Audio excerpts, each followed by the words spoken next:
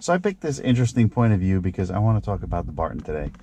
Uh, I've had this on my car for over a year. A lot of you guys have checked out my Barton installation video and uh, I want to thank you guys for that. Hopefully it helped you guys out in some way with the install.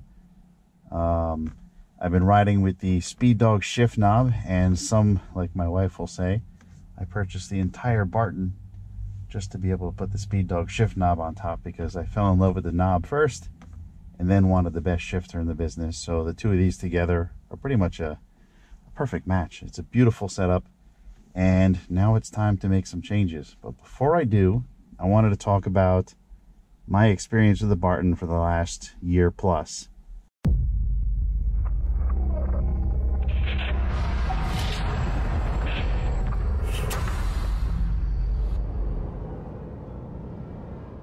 Now, my purchase for the Barton was done on uh, Black Friday sale. I paid full price minus, I think it was 10%. They had a little 10% off sale going. And I got my Barton for Christmas for my kids and installed it sometime around February. So it's been February of uh, last year. So I've been driving around with this shifter for a long time and I'm very happy with it. There's a lot of significant changes in the way that this thing reacts. And the most important part was my issues when on the quarter mile I'd be going first and second, no problem. And then when I go into shift into fourth gear, I'd always or third gear, I'd always get jammed. And you see, I just just pushed it right into third gear, um, fourth gear as well. I used to be struggling with the other shifter, and one second is you know on a quarter mile, one second is one second. You you lose that second trying to shift, and you're done. So this solved that problem. Um, I've had about 12 or 13 runs. I don't do it very often, but you know, the first bunch of batch of runs I did with the stock shifter, I was always having trouble with third and fourth. Following the Barton shifter, I've never had an issue. Um, it's just because of the way it wants to be right in that third and fourth gate. It's always there. It's always ready. Um, shifting in the first and second, you have to pull it forward. The very first few times you shift, when you shift from the switch from the factory shifter, which is kind of sloppy and very wobbly, um, and also very loose, you're used to kind of just, I'm going into first gear and just give it a little whack in the first gear. And I'm exaggerating it. It takes a little bit of pressure, but you know what I'm saying. You give it a little whack and you're right in first gear. The Barton, you can't do that. The Barton takes a significant amount of force to get it over to that first gear and second gear gates. And that's a good thing. It's not bad. Like in other words, my arm doesn't get tired if I'm driving or, you know, it's not a workout to get it over there. You're used to giving it a whack in the first gear where now with the Barton, you have to grab it and handle it and put it into first gear and put it into second gear. But as soon as you're ready to go into third and fourth, it's right there for you. It's ready. So those are the significant changes with your shifting. Now, in addition to looking great, um, on this specific configuration, so the Speed Dawg shift knob is a teeny bit, and by teeny bit I mean close to a quarter inch bigger than the Barton shifter knob that comes with this setup. That, in addition to the Barton shifter, uh, the shifter is sitting a little bit higher. I would say a minimum of a half an inch to a three quarter of an inch higher. I didn't take any special measurements, just know where my hand used to be versus where it is now. It's a little bit higher. It's never been an issue. It's, you know, it's not something I, I something I noticed, but not something that bothered me. Uh, shifting feels more engaged and it's just a much better experience. I look forward to coming in here, grabbing this thing and just going. It's, it's just a much better feeling. It's more solid. It's more what should have been in the car in the first place. And, you know, that sloppy shifter just, you know, it may work on a Toyota Corolla, but it doesn't work in a Challenger. This is what should be in there. If you're going to spend your money on anything, spend it on the Barton.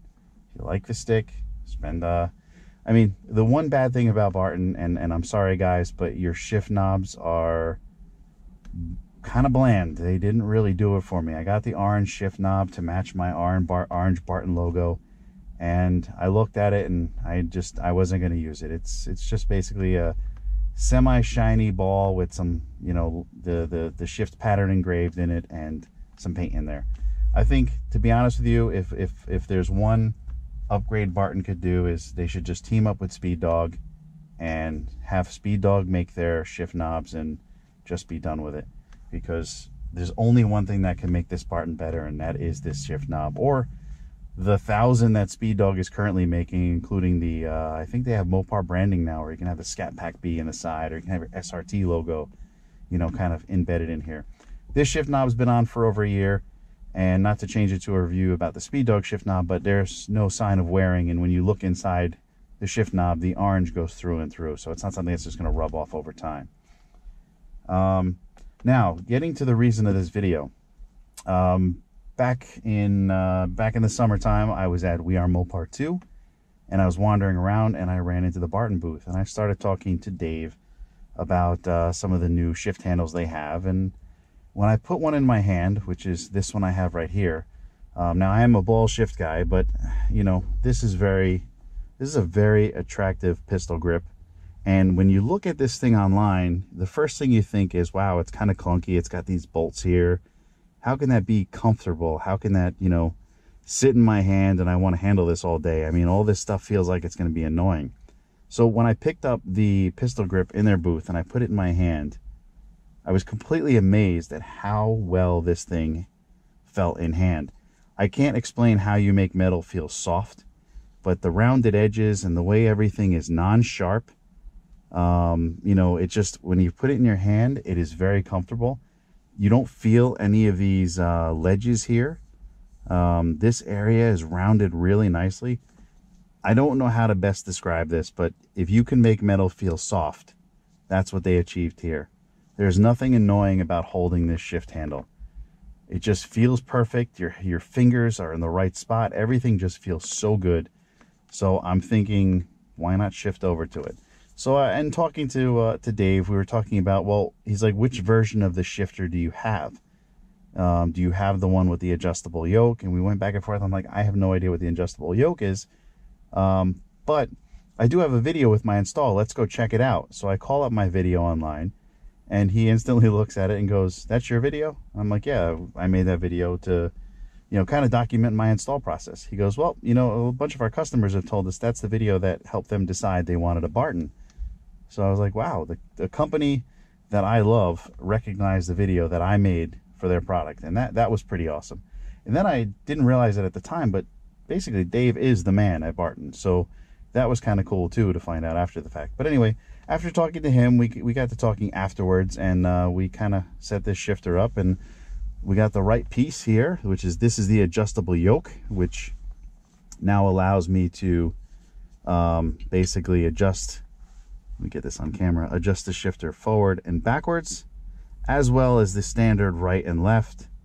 And that's what we got. So the install should be pretty simple and straightforward. And uh, I'm looking forward to driving with the, uh, I mean, it's the same height, but now your hand is from up here, your now your hand is now shifted down here to do your shifting.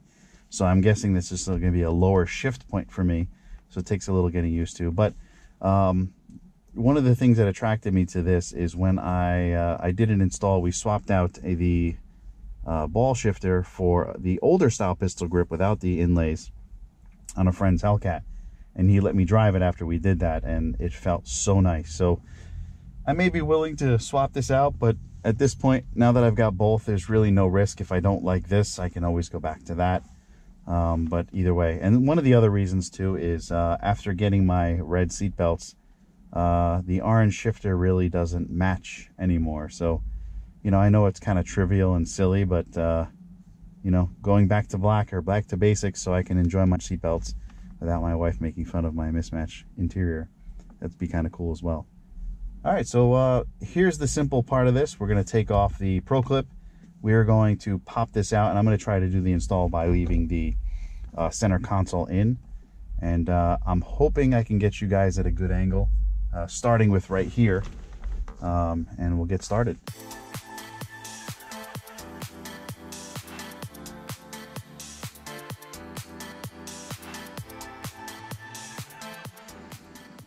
All right, bring you guys in a little bit closer. Hope I don't uh, knock into you guys too much. But what we're gonna do is basically loosen these bolts.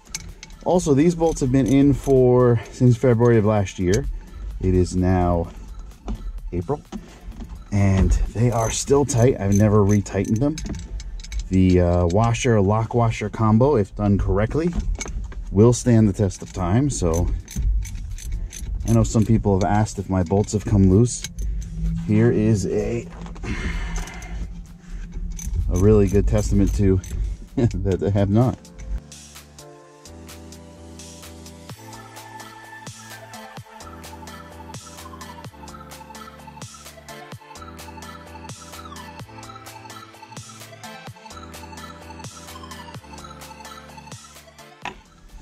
Okay, this should just slide right out. Doing a quick visual inspection, everything looks good.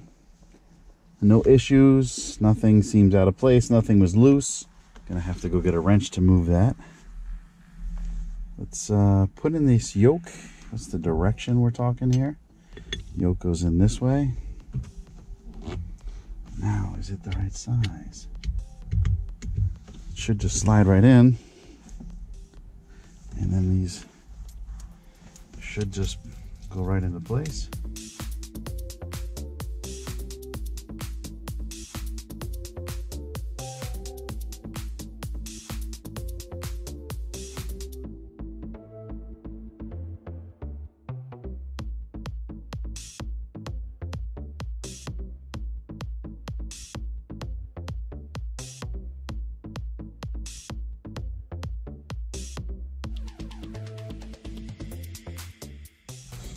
Okay, so it looks like we have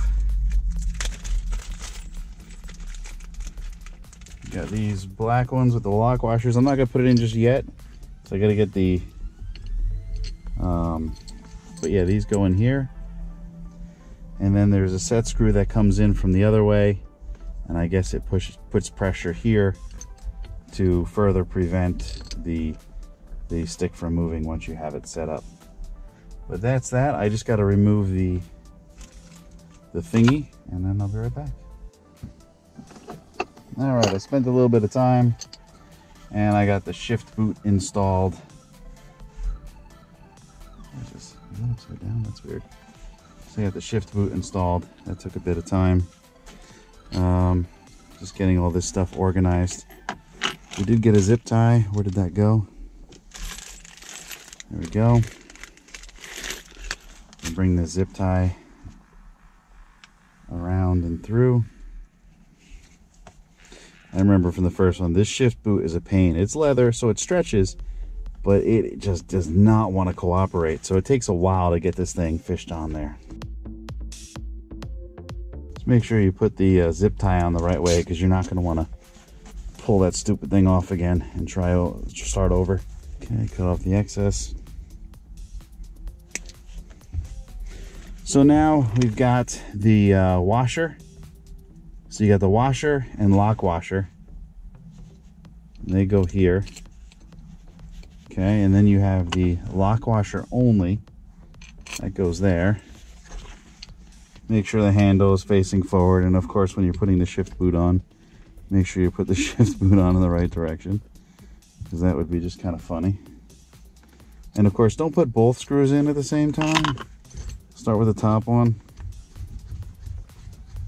There we go. And of course, you're to have to get a set of Allen keys for these, which I'm to have to run in and grab in a minute. So again, lock washer. Seriously. Lock washer, then the washer for the bottom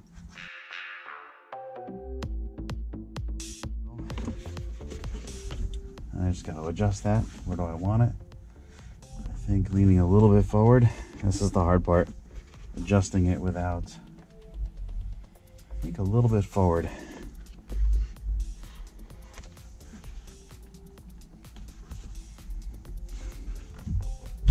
Opening the first, give myself some more room.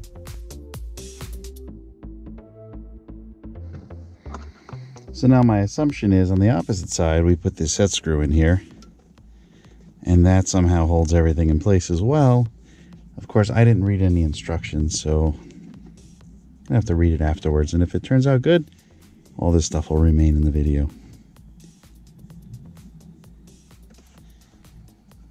And there we go. We hit it. Get a little torque on that set screw there. There we go. So we got all these Allen keys tightened down really well. All right, let's do one last check to make sure I'm good with the positioning. Feels nice. I'm gonna go ahead and bring this up and turn it sideways like I did last time. Way we can get this all around it. Pull it back in the third gear. Don't forget to plug back in your console here. Probably wish I could see it. That'd probably be better. There we go. Remember when you put your center console back in, you push these two in first. And then push down on everything. Get your boot back in place. And peel this all down so it looks good. I like it. That feels totally different than sitting up here. Wow. All right, well, I'm not sure how I'm going to feel about this. I like it right now. It feels good in hand, but I definitely want to get some time driving with it. Uh, all right, so this is just a very nice, another option for you. It's very good looking. We're going to see how I feel about it. But the swap over was really quick and easy. I did it in probably about a half hour if I wasn't videoing everything. Um, if you got any questions, drop them in the comments below. If this video helped you out in some way, please feel free to gently press that like button. If you're stopping by for the first time, please consider subscribing. And as always, thanks for watching.